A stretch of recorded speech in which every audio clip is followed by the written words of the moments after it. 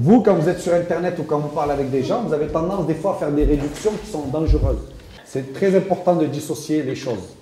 On ne fait jamais un global. Il y a ce qu'on appelle des bons et des mauvais partout. Donc les garçons, on va sur le terrain.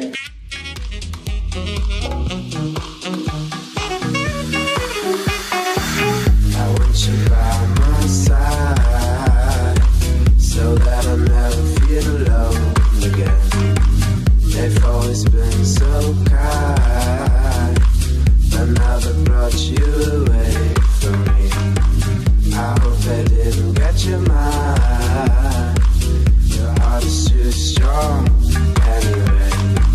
We need to fetch back the time. Ce trophée-là, cette valorisation-là, elle a un peu changé notre statut au niveau local. C'est-à-dire qu'aujourd'hui, les gens savent que c'est un club un peu à part, puisqu'ils ont gagné le premier prix.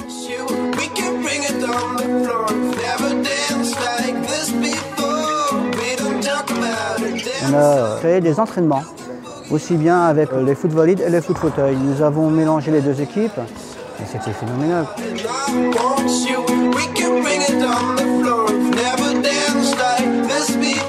On a fait des démonstrations dans des collèges, dans des lycées. Grâce à ça, on est en train de développer le foot fauteuil et le foot fauteuil est en train de se faire connaître régionalement et aussi nationalement. Nous, on s'est adapté à leur situation de handicap. Et ici, ils sont accueillis, ils peuvent jouer avec leur handicap et avec les autres enfants. On a eu des moyens supplémentaires pour essayer de travailler sur nos lacunes. Qui se sent français? C'est quoi la devise de la France, par exemple? Citez-moi euh, le président actuel. Avant lui. Avant lui. Avant lui. On avait de vraies difficultés à déplacer nos équipes. Du coup, on a pu racheter un minibus. On est parti voir un petit peu des partenaires, des sponsors. On a pu avoir quand même euh, ben, des places, par exemple, pour aller voir des matchs de foot professionnels. Tout ça parce qu'au départ, il y a eu cette valorisation, il y a eu cette médiatisation qui est venue nous ouvrir un petit peu les portes.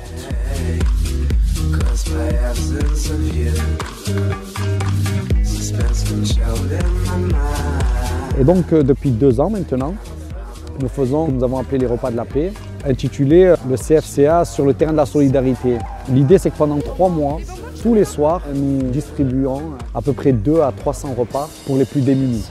Et donc, nous essayons de faire en sorte que nous puissions aussi apprendre à nos jeunes une autre valeur importante dans notre société qui est la solidarité, l'entraide.